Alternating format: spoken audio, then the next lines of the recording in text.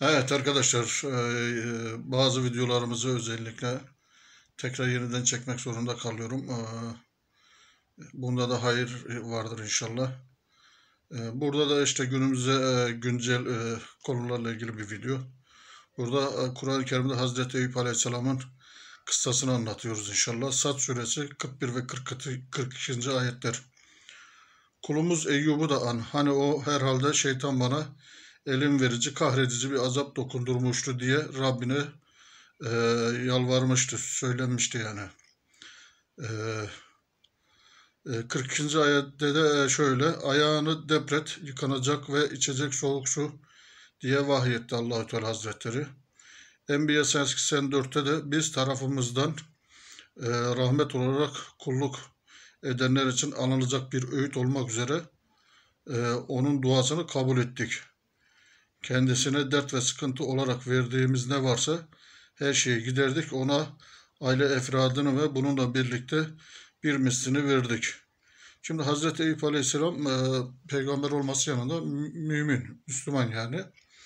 Günümüze bakan yanı da şöyle. Hazreti e, Eyüp Aleyhisselam'ın ne diyor? Şeytan bana diyor e, elim verici, e, kahredici bir azap dokundurdu. Günümüzde şeytan Amerika Birleşik Devletleri başına çektiği bir organizasyondur. E, buna Illuminati vesaire de diyebilirsiniz. E, bu koronayı işte Çin'de dünyanın başına musallat ederek Çin virüsü diye dünyaya yutturmaya çalışıyorlar. Burada Eyüp Aleyhisselam da e, İslamiyet'i, Müslümanlığı temsil ediyor. Buradaki dünyaya baktığınızda bir numaralı Müslüman ülke Türkiye'dir diğer ülkelere göre. Çünkü genel anlamda her konuda baktığımızda bu onu net anlatıyor. Şimdi burada e, Türkiye'de verilmiş bir azap olunduğunu yani bu konuda muzdarip günümüz anlamında. Ama devamında e, 42. ayette ne diyor Allahu Teala? Ayağını debret, yıkanacak ve içecek soğuk su.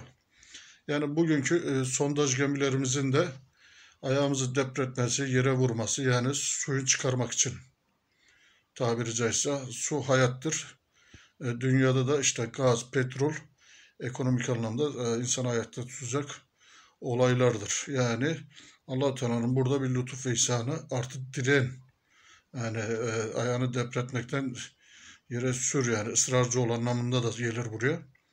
Yani böyle baktığımızda allah Teala Hazreti Peygamber üzerinden Türkiye'nin e, çevresindeki düşmanlara karşı direneceğini sondajlar yaparaktan e, kendine has e, kaynaklara ulaşacağını müjdeliyor. Yani özellikle Osmanlı Devleti olarak da Hazreti Eyüp'ü anlarsak çünkü Hazreti Eyüp'ü e, malı, mülkü, çocukların hepsi e, elinden alındı Allah tarafından. En sonunda e, bulunduğu yerden bile dışarı çıkardılar bir mağaraya. Şehrin dışında e, ya da mağaranın, kasabanın dışında bir mağaraya koydular. Eşi gidip geliyordu o hastalığından dolayı.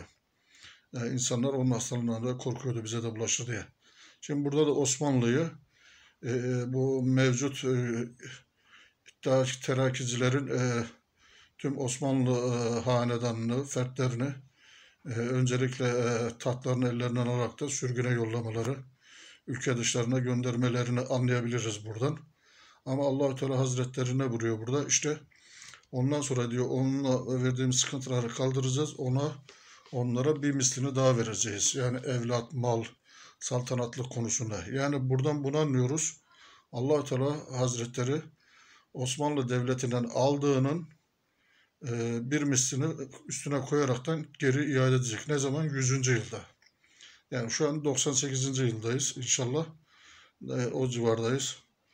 2-3 yıl sonra, 2,5 yıl sonra eski iki katı daha gücüne ulaşacağını bu Kur'an-ı Kerim ayetlerinin net anladığımızı inşallah e, söyleyebiliriz. Çünkü e, başka da bir sürede de zaten e, bununla ilgili bir videomuz da vardı. Oraya bakabilirsiniz.